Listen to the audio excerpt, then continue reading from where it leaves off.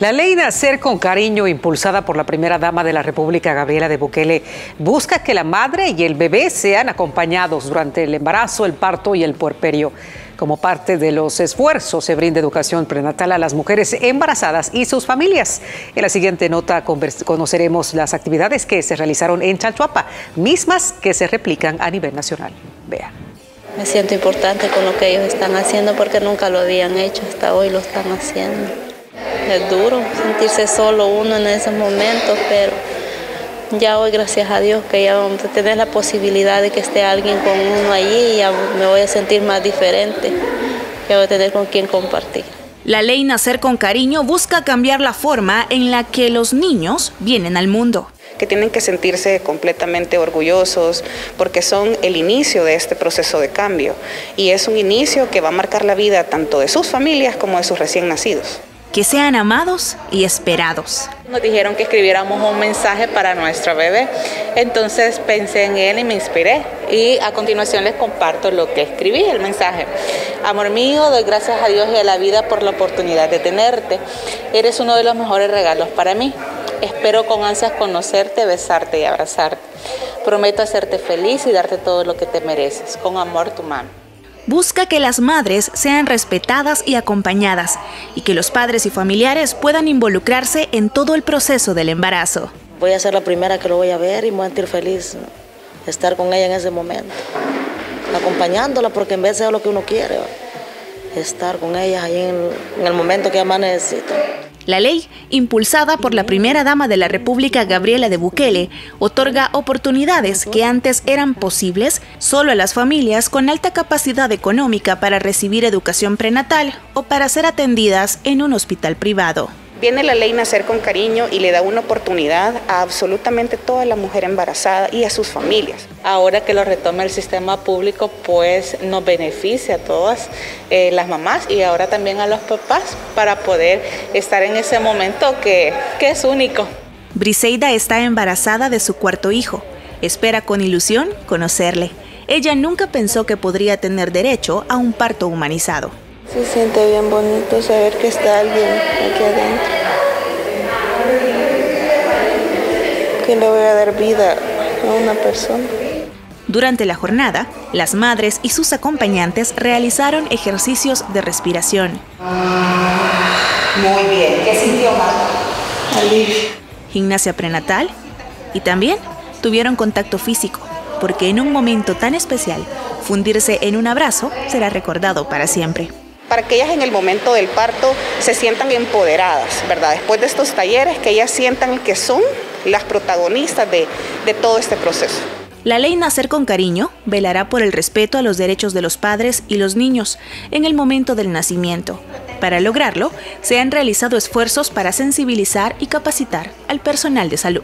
Dylan está a pocos días de nacer y Marta será de las primeras mujeres beneficiadas con la ley Nacer con Cariño, que permitirá que un acompañante esté con ella durante el momento del parto. Los talleres se replican a nivel nacional para fortalecer el lazo entre la madre y el recién nacido. Por cierto, en redes sociales, el ministro de Salud Francisco Alaví informó que ya está habilitado el módulo, módulo 2 de la formación en la ley Nacer con Cariño.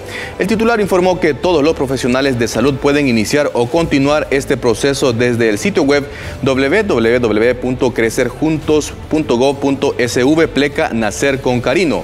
Atendamos el llamado por las madres, sus bebés y sus familias, escribió el funcionario. La ley Nacer con Cariño se aprobó el pasado 17 de agosto. La normativa tiene como objetivo garantizar un parto respetado, un cuidado cariñoso y sensible para el recién nacido. La iniciativa fue impulsada por la primera dama de la República, Gabriela de Bukele. La ley contiene 18 artículos en los que se estipula un nuevo modelo de atención y pone en primer lugar los derechos y necesidades de cada mujer desde la preconcepción hasta el nacimiento de su bebé. Nacer con cariño forma parte de la política nacional de la primera infancia Crecer Juntos, impulsada por la primera dama Gabriela de Bukele. Con la entrada en vigor de la normativa, se establece que la madre tiene derecho a un parto informado, fomenta la lactancia materna y el contacto piel con piel, desde el nacimiento con énfasis en las primeras tres horas de vida del bebé. En el articulado de la ley se incluyen cuidados que el personal de salud capacitado debe brindar a la madre y su hijo antes, durante y después del alumbramiento, para garantizarle a ambos un ambiente seguro con las condiciones de infraestructura y existencia de insumos médicos para una óptima atención teniendo en cuenta que cada nacimiento es un momento único e irrepetible. La implementación de la normativa marca un antes y un después en la forma en la que la madre puede ser tratada, evitando que se apresure el parto o que se realicen procedimientos innecesarios. Además, prohíbe que se separe al recién nacido de su madre. También se propiciará un sistema nacional integrado de salud, asegurando a la madre el derecho a estar acompañada por una persona de su elección durante todo el proceso. Para los niños que nacen de forma prematura o con bajo peso, se promoverá el método canguro, con el cual se prioriza el contacto piel con piel con la madre o persona encargada. La nueva ley tiene elementos de integración, entre ellos el Plan Estratégico Nacional para un Parto Respetado y Cuidado Cariñoso y Sensible para el Recién Nacido, el Plan Nacional de Salud, Sistema Único de Información y Sistema de Gestión de Calidad. Actualmente se están ejecutando acciones de modernización del Sistema Nacional de Salud para garantizar óptima ejecución de la ley Nacer con Cariño. Por muchos años el Sistema Nacional de Salud permaneció en total abandono ante las malas gestiones de pasados gobiernos de los partidos tradicionales, que nunca se preocuparon por contar con instalaciones más dignas para la atención de miles de pacientes a escala nacional.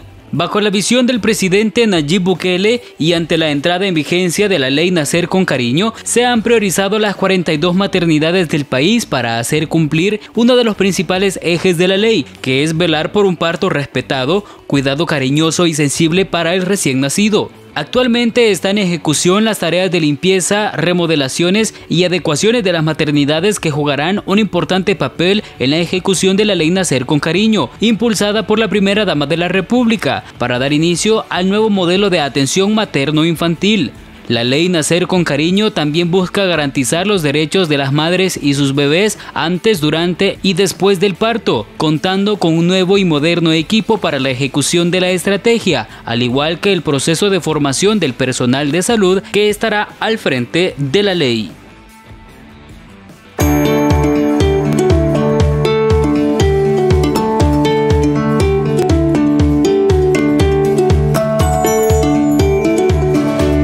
Acudir a efectuarse una prueba PCR con regularidad contribuye a frenar la curva de contagio, ya que si la persona obtiene un resultado positivo, aunque ésta no presente síntomas, recibe atención médica inmediata y es puesta en, aislamiento. Por cierto, este martes las autoridades del Ministerio de Salud realizaron pruebas de COVID-19 en Santa Ana. El personal del Ministerio de Salud continuó este martes realizando la jornada de tamizaje comunitario con el objetivo de detectar posibles casos de COVID-19 en Santa Ana. 500 pruebas PCR fueron aplicadas. Para seguridad mía y seguridad de mi familia también, sí. ¿Cómo va este tipo de acción? Bueno, yo lo veo muy bien. Es bien lo que el presidente Bukele está haciendo, porque eso es pues seguridad que todos estemos este, libres de este, de este virus. Doña Ena Laínez llegó acompañada de su madre y su pequeña hija. Ellas se sometieron a la prueba con el objetivo de prevenir. Con ella nos realizamos, bueno, y mi madre nos realizamos las tres la, la prueba.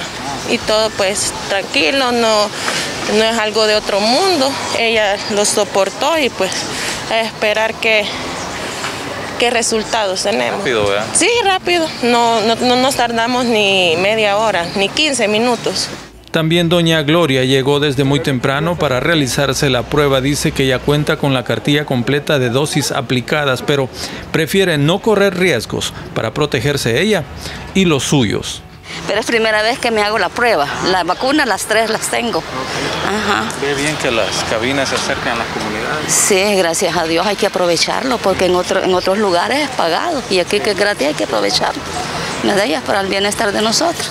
Hasta el momento, el gobierno de El Salvador ha realizado 1.693.464 pruebas PCR en todo el país desde que inició la pandemia del COVID-19. Dale like, comparte, sígueme o suscríbete para más contenido solo aquí en la Minuta SB.